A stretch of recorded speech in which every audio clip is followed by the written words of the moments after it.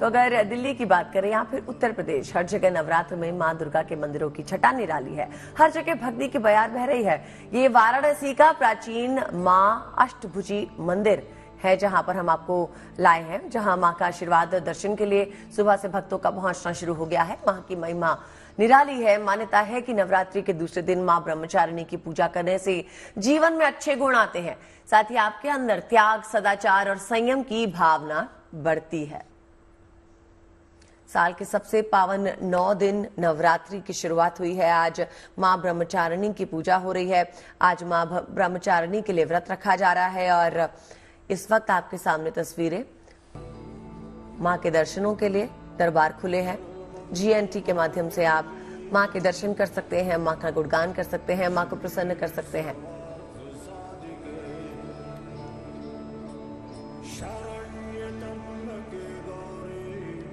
माता रानी की कृपा है कि मैं माता रानी के दरबार में पहुँचा हूँ। और हमेशा से मैं यहाँ पे हमेशा जब से मंदिर है जब से मेरी पैदाइश है तब से मैं यहाँ आ रहा हूँ। मैंने बहुत अच्छे तरीके से दर्शन किया। तो हो जाती है। माता की यहाँ का, काफ़ी कृपा होती है काफ़ी प्राचीन मंदिर है ये अष्टभुजी माता मंदिर। फ़ेमस मंदिर है ये।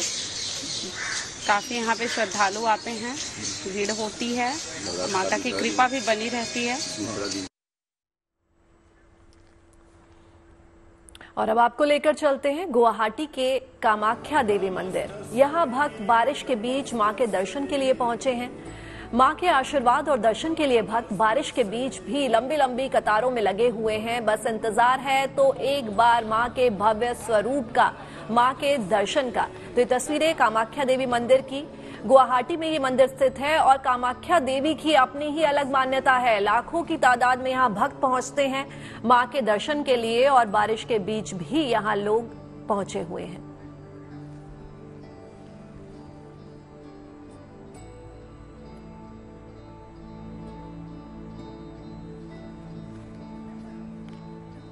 भक्तों की आस्था और विश्वास की तस्वीर प्रयागराज में भी देखने को मिली है। माँ कल्याणी मंदिर में सुबह से भक्तों का पहुँचना शुरू हो गया।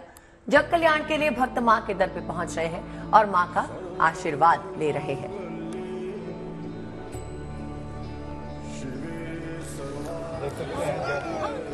नवरात्र के पर्व में पूरा देश माँ दुर्गा की भक्ति में लीन है। देश के अलग अलग हिस्सों में नवरात्र की पूजा के अलग अलग विधान भी हैं। रांची में गोरखा जवानों की दुर्गा पूजा बेहद खास मानी जाती है। यहाँ नवरात्रि के कल स्थापना के साथ ही झारखंड आर्म फोर्सेस की शक्ति पूजा भी की जाती है। गोरखा जवान फायरिंग करके इस पूजा की शुरुआत करते हैं। यहाँ माँ की प्रतिमा की जगह कलश स्थापना की परंपरा 1880 से चली आ रही है।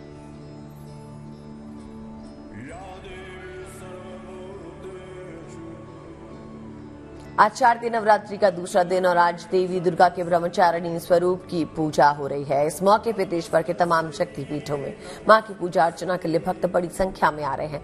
इन्हीं में से एक है 500 साल पुराना हिंगलाज माता का मंदिर, जो कि मध्य प्रदेश के रायसेन ज़िले में विंध्याचल पर्वत श्रेणी में बसा है। यहाँ नवरात्रि के मौके पर देश के अलग अलग राज्यों से श्रद्धालु खींचे चले आते हैं।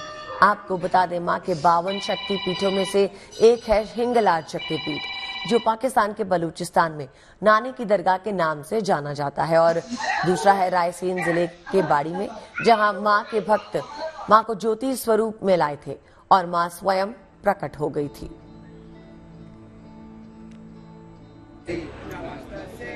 तो देश के पूर्वी राज्य झारखंड के रांची में भी एक ऐसा देवी धाम है जिसके प्रति लोगों की अपार आस्था है।